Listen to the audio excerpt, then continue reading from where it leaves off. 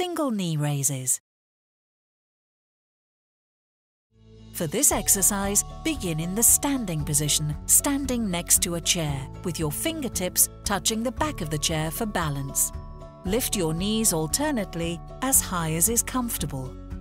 Keeping your hips straight and facing forwards, and holding your leg in position for three seconds before lowering it down again.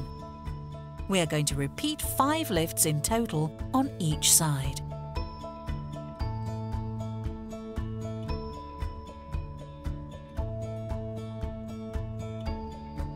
two,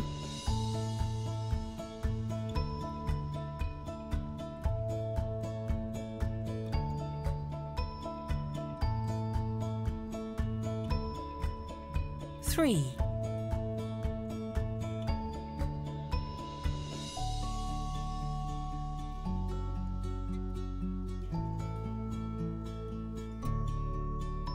four,